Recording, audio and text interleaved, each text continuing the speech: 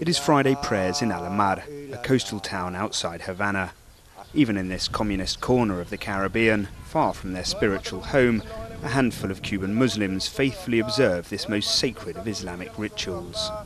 But the setting is far from ideal. In an abandoned playground, they are open to the elements and to the stares of inquisitive passers-by as they pray. Even in the capital, Havana, the Muslim community is limited to worshipping in either private homes or a single prayer room at the Casa del Árabe, a state-run museum to the country's Arabic heritage. But many young Cuban Muslims say that Islam no longer belongs in a museum. Rather, it is a living, breathing and expanding religion on the communist island. I'm part of a new generation of Muslims in Cuba, says recent convert Ibrahim Abdulaziz. We're trying to grow and learn everything we can about the Islamic faith. That is difficult without a mosque, though. In Cuba, there is still no central place of worship or point of contact for the disparate pockets of Muslims around the country.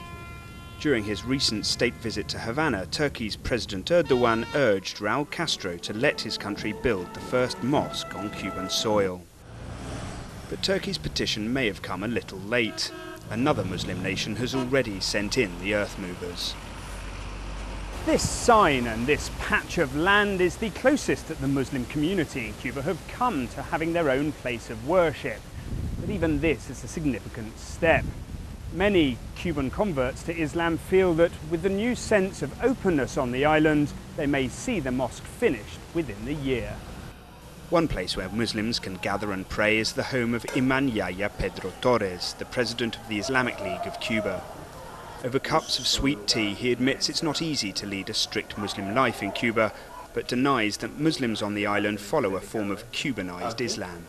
No hay Islam cubano ni chino there is no Cuban Islam, nor Chinese, Czech, or Russian. It's the same Islam for everyone, based on what Allah orders in the Quran and what the Messenger of God, the peace and blessing of Allah be upon him, has taught us. Until recently, even being Catholic in Cuba was frowned upon. Islam has traditionally had even fewer religious, political and physical spaces. But though Turkey or Saudi Arabia may lay the foundations, Cuban Muslims are confident that they will build the five pillars of Islam in Cuba themselves. Will Grant, BBC News, Cuba.